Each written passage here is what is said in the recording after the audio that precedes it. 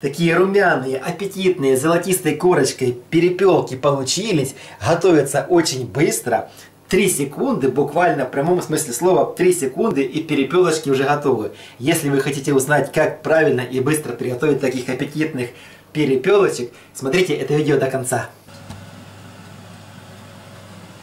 Привет, друзья! Привет, мои дорогие подписчики! Сегодня я приготовлю перепелочек. Рецепт будет самый простой, проще вообще некуда. Я специально взял перепелочек и покажу, как можно легко, быстро их приготовить, сохранить максимально вкус перепела, подчеркнуть его достоинство. И это все будет очень легко.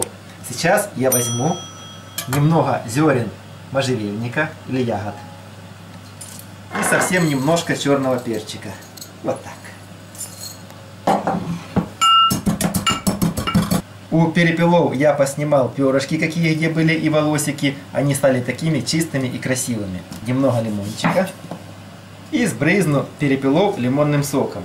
Это даст приятную кислинку, слегка промаринует и размягчит мяско, а также на мокрую тушку будет легче ложиться пряности и соль и шейки, и кончики крылышков я оставляю, ничего убирать не буду, потому что рецепт быстрый, простой, и я показываю максимально, как можно легко, без возни, приготовить перепела и насладиться его волшебным вкусом и ароматом.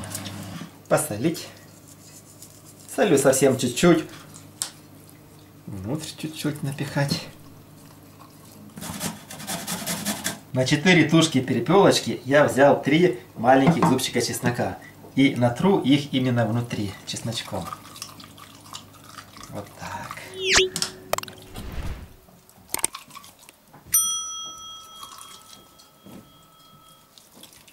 И совсем чуть-чуть сбрызну оливковым маслом, чтобы мяско было сочнее и ароматы из пряности приходили в мясо чтобы понравилось моим друзьям.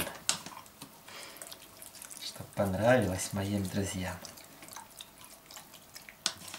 Духовка разогрета до температуры 200 градусов.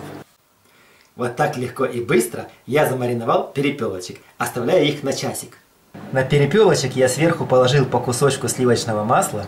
Прошло 10 минут, масло только-только начало растапливаться. Вот так размажу.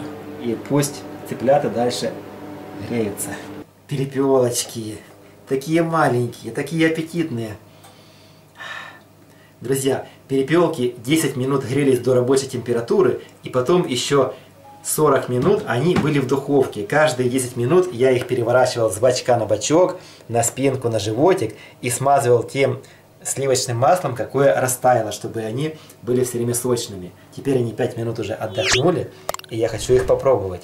М -м -м. Угу.